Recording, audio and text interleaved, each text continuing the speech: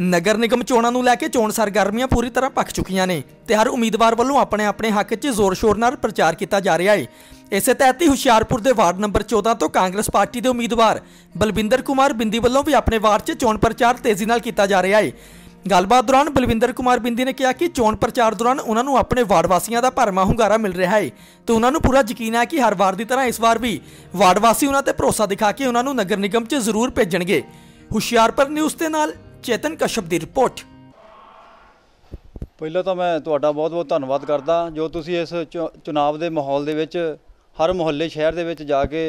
ਜੋ ਆਮ ਜਨਤਾ ਦੀ ਪਬਲਿਕ ਦੀ ਜਿਹੜੀ رائے ਆ ਉਹ ਸਾਰਿਆਂ ਦੇ ਤੱਕ ਲੈ ਕੇ ਜਾ ਰਹੇ ਹੋ ਤਾਂ ਤੁਹਾਡਾ ਬਹੁਤ-ਬਹੁਤ ਧੰਨਵਾਦ ਜੇ ਮੈਂ ਗੱਲ ਕਰਾਂ ਵਾਰਡ ਨੰਬਰ 14 'ਚ ਜੋ ਕਾਂਗਰਸ ਪਾਰਟੀ ਨੇ ਸਾਡੇ ਬਹੁਤ ਹੀ ਸਤਿਕਾਰਯੋਗ ਕੈਬਨਿਟ ਮੰਤਰੀ ਸਾਹਿਬ ਮਾਨਯੋਗ ਸੁੰਦਰ ਸ਼ਾਮ ਅਰੋੜਾ ਜੀ ਨੇ ਜੋ ਮੇਰੇ ਤੇ ਭਰੋਸਾ ਜਤਾਇਆ ਆ ਮੈਂ ਉਹਨਾਂ ਨੂੰ ਵਿਸ਼ਵਾਸ ਦਿਲਾਉਣਾ ਕਿ ਬਹੁਤ ਵੱਡੀ ਲੀਡ ਦੇ ਨਾਲ ਆਪਾਂ ਜਿਹੜੀ ਇਹ ਸੀਟ ਹੈਗੀ ਜਿੱਤ ਕੇ ਉਹਨਾਂ ਦੀ ਝੋਲੀ ਦੇ ਵਿੱਚ ਪਾਵਾਂਗੇ। ਮੈਂ ਤੁਹਾਨੂੰ ਆਪਣੇ ਵਾਰਡ ਦੀ ਥੋੜੀ ਜਿਹੀ ਜਿਹੜੀ ਹਿਸਟਰੀ ਜ਼ਰੂਰ ਦੱਸਣੀ ਚਾਹਾਂਗਾ। ਵਾਰਡ ਨੰਬਰ 14 ਦੋ ਵਾਰ ਪਹਿਲਾਂ ਵੀ ਮੈਨੂੰ ਆਪਣੇ ਵਾਰਡ ਦੇ ਸਾਰੇ ਵਸਨੀਕਾਂ ਦਾ ਆਸ਼ੀਰਵਾਦ ਪ੍ਰਾਪਤ ਹੋਇਆ। ਦੋ ਵਾਰ ਮੈਨੂੰ ਜਨਤਾ ਨੇ ਬੜੇ ਹੀ ਮਾਰਜਨ ਦੇ ਨਾਲ, ਬੜੇ ਹੀ ਪਿਆਰ ਦੇ ਨਾਲ, ਸਨਮਾਨ ਦੇ ਨਾਲ ਜਿਹੜਾ ਮੈਨੂੰ ਐਮਸੀ ਬਣਾ ਕੇ ਸੇਵਾ ਕਰਨ ਲਈ ਕਾਰਪੋਰੇਸ਼ਨ ਦੇ ਵਿੱਚ ਭੇਜਿਆ ਸੀਗਾ। ਹੁਣ ਤੀਸਰੀ ਵਾਰ ਜਿਹੜੀ ਇਹ ਮੈਂ ਚੋਣ ਕਾਰਪੋਰੇਸ਼ਨ ਦੀ ਉਹ ਲੜ ਰਿਹਾ ਪਹਿਲਾਂ ਮੈਂ ਦੋ ਵਾਰੀ ਆਜ਼ਾਦ ਲੜਿਆ ਔਰ ਇਸ ਵਾਰ ਮਾਨਯੋਗ ਸੁੰਦਰ ਸ਼ਾਮ ਅਰੋੜਾ ਜੀ ਦੇ ਆਸ਼ੀਰਵਾਦ ਦੇ ਨਾਲ ਮੈਂ ਕਾਂਗਰਸ ਪਾਰਟੀ ਦੀ ਟਿਕਟ ਤੋਂ ਜਿਹੜੀ ਇਹ ਚੋਣ ਲੜ ਰਿਹਾ ਔਰ ਜਿਹੜੇ ਵੀ ਮੈਂ ਪਿਛਲੇ ਸਮੇਂ ਦੇ ਦਰਮਿਆਨ 10-12 ਸਾਲ ਦੇ ਸਮੇਂ ਦੇ ਦਰਮਿਆਨ ਜਿਹੜੇ ਵੀ ਮੈਂ ਕੰਮ ਕੀਤੇ ਆ ਔਰ ਆਪਣੇ ਵਾਰਡ ਦਾ ਜੋ ਹੱਕ ਸੀਗਾ ਕਾਰਪੋਰੇਸ਼ਨ ਤੋਂ ਲਿਆ ਕੇ ਮੈਂ ਆਪਣੇ ਜੋ ਵਾਰਡ ਦੇ ਵਸਨੀਕ ਆ, ਉਹਨਾਂ ਦੀਆਂ ਸਮੱਸਿਆਵਾਂ ਨੂੰ ਪਹਿਲ ਦੇ ਆਧਾਰ ਤੇ ਹੱਲ ਕਰਨ ਦੀ ਕੋਸ਼ਿਸ਼ ਕੀਤੀ ਆ। ਚਲੋ ਕੰਮ ਤਾਂ ਜਿਹੜੇ ਉਹ 100% ਨਹੀਂ ਹੁੰਦੇ, ਪਰ ਜਿਹੜੀ ਮੇਰੀ ਕੋਸ਼ਿਸ਼ ਹੁੰਦੀ ਆ, ਉਹ ਪੂਰੀ 100% ਹੁੰਦੀ ਆ। ਤਾਂ ਜੋ ਮੇਰੇ ਤੱਕ ਜਿਹੜੀ ਵੀ ਸਮੱਸਿਆ ਆਵੇ, ਉਹਨੂੰ ਮੈਂ ਪਹਿਲ ਦੇ ਆਧਾਰ ਤੇ ਹੱਲ ਕਰ ਸਕਾਂ। ਤਾਂ ਜੋ ਜਿਹੜਾ ਆਮ ਜਨਤਾ ਦਾ ਮੇਰੇ ਤੇ ਭਰੋਸਾ, ਉਹ ਪਹਿਲਾਂ ਵਾਂਗ ਬਣਿਆ ਰਵੇ ਔਰ ਆਉਣ ਵਾਲੇ ਸਮੇਂ ਦੇ ਵਿੱਚ ਵੀ ਮੈਨੂੰ ਪੂਰੀ ਉਮੀਦ ਆ, ਮੈਨੂੰ ਆਪਣੇ ਵਾਰਡ ਦੇ ਵਿੱਚ ਇਸੇ ਤਰ੍ਹਾਂ ਸਾਰਿਆਂ ਦਾ ਪਿਆਰ ਮਿਲੂਗਾ। ਔਰ ਮੈਂ ਹੋਰ ਵੀ ਜ਼ਿਆਦਾ ਜੋਸ਼ ਦੇ ਨਾਲ ਔਰ ਆਪਣੇ ਵੱਲੋਂ ਜੋ ਵੀ ਐਫਰਟ ਕਰ ਸਕਦਾ ਉਹ ਕਰਾਂਗਾ। ਕਿਸੇ ਵੀ ਤਰ੍ਹਾਂ ਦੀ ਜਿਹੜੀ ਆ ਸਮੱਸਿਆ ਆ, ਉਹ ਆਉਣ ਨਹੀਂ ਦੇਵਾਂਗਾ।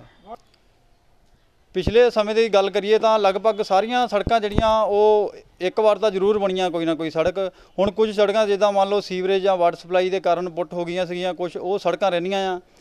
ਬਾਕੀ ਵਿਜੇ ਨਗਰ ਦੀ ਗੱਲ ਕਰੀਏ, ਇਸ ਟਾਈਮ ਅਸੀਂ ਵਿਜੇ ਨਗਰ ਮੁਹੱਲੇ ਦੇ ਵਿੱਚ ਖੜੇ ਆ ਇੱਥੇ ਪਾਰਕ ਦੀ ਜਿਹੜੀ ਆ ਰੈਨੋਵੇਸ਼ਨ ਉਹ ਹੋਣ ਵਾਲੀ ਆ। ਮੁਹੱਲੇ ਨਿਵਾਸੀਆਂ ਦੀ ਜੋ ਮੰਗ ਹੈਗੀ ਆ, ਇੱਥੇ ਜਿਮ ਲਵਾਉਣਾ ਆ ਜਾਂ ਹੋਰ ਪਾਰਕ ਦੀ ਡਿਵੈਲਪਮੈਂਟ ਕਰਾਉਣੀ ਆ। ਹੋਰ ਛੋਟੇ ਛੋਟੇ ਕੰਮ ਹੈਗੇ ਆ, ਜਿੱਦਾਂ ਤਿੰਨ ਗ- ਤਿੰਨ ਨੰਬਰ ਗਲੀ ਹੈਗੀ ਆ ਜਾਂ ਪੰਜ ਨੰਬਰ ਗਲੀ ਆ। ਹੋਰ ਤਿੰਨ ਚਾਰ ਗਲੀਆਂ ਹੈਗੀਆਂ, ਜਿਨ੍ਹਾਂ ਦੀ ਦੁਆਰਾ ਤੋਂ ਜਿਹੜੀ ਉਹ ਬਣਨ ਵਾਲੀਆਂ ਹੈਗੀਆਂ। ਪਹਿਲ ਦੇ ਆਧਾਰ ਤੇ ਉਹ ਬਣਵਾਵਾਂਗੇ। ਸਾਫ਼ ਸਫ਼ਾਈ ਦਾ ਜਿਹੜਾ ਹੋਰ ਵੀ ਕੋਈ ਹੋਰ